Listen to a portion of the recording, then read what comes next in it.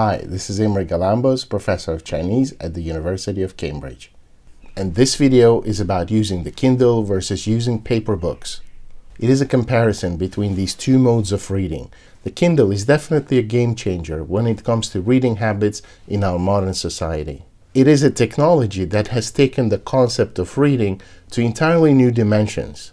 People who use it swear by it and often claim that it changed their life and they will never go back to reading paper books.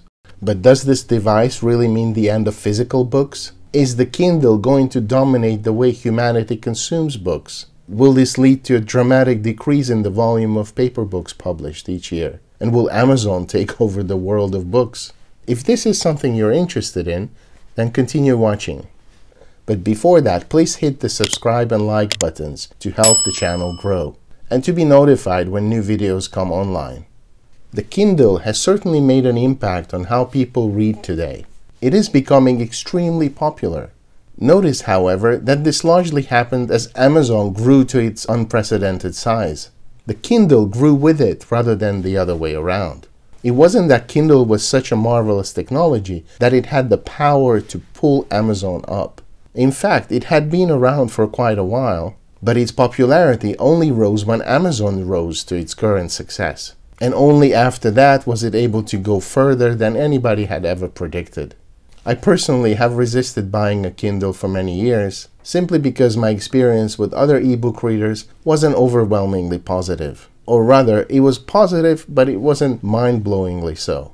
But then about a year ago, I bought a new ebook reader, and shortly after that, I also bought a Kindle. And it was indeed a game changer.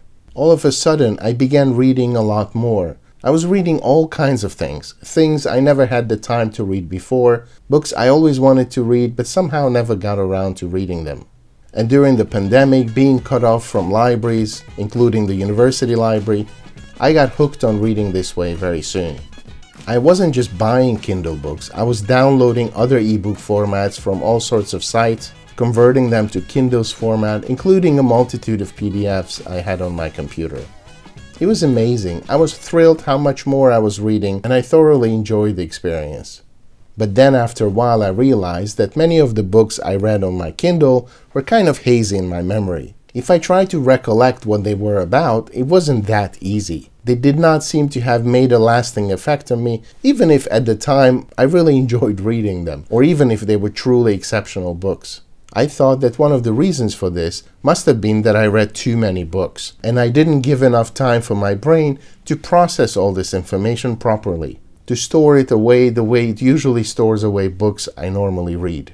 Instead, I just finished one book and immediately hopped on to the next one. And after reading 20 or 30 of them, I realized I wasn't able to differentiate between them very well. They kind of blended together in my memory.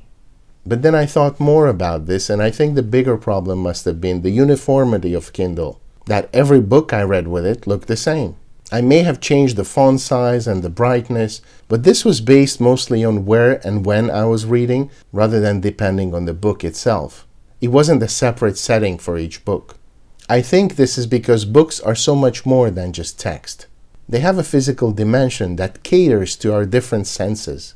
We touch them and our fingers feel the smoothness of paper, the thickness of the pages, the slippery surface of the dust jacket, or the overall size of the volume. We smell the ink and the paper, we hear the sound of turning the pages, and even if these smells and sounds are not so strong, we register them and store them away as part of the experience of reading the book. We also perceive a host of visual qualities, such as the type of font, the whiteness of paper, the length of lines, the size of letters, the size of margins, the location of page numbers, and so on.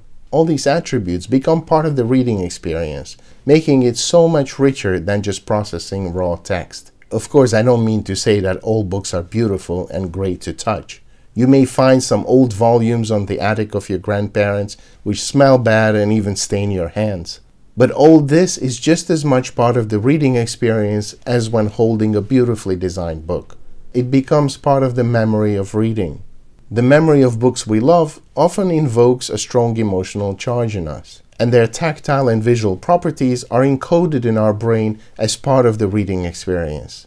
This is why I can recall some of the books I read in my childhood, decades ago. And for some of them, I can also remember what they looked like, where the binding faded off, where there was a particular illustration, or where we accidentally tore a page when we were playing with it. The point is that physical books have physical properties. They do contain text, but they're also objects we connect to through a variety of our senses.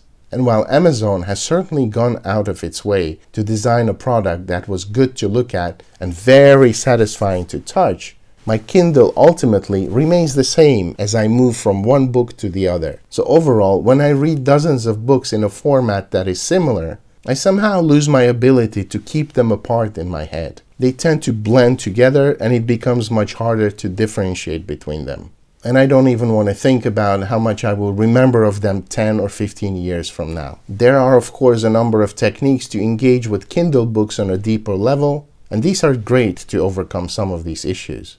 In any case, all this is not an argument against Kindle, but I also think that it will definitely never replace the experience of reading real books. A real book I can touch with my hands, and I need to return it to the library on time so I don't get fined or I need to find a space for it on my own bookshelf. And then I will continue seeing it for months or maybe years, and it will gradually become much more a part of me than otherwise.